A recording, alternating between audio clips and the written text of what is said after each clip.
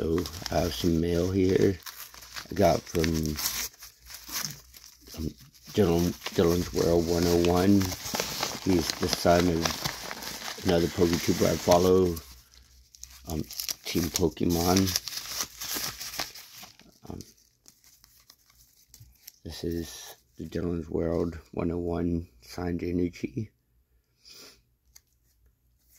That is going to go with my energy collection.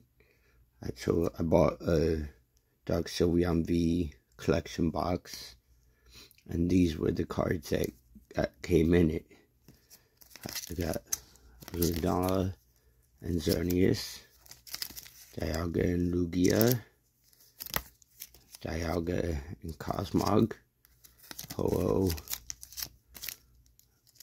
Lugia and Groudon, Yveltal and Kyogre, Jesse Beltal, Mew, uh, Full Art Professor's Research, the Dark Sylveon V promo, and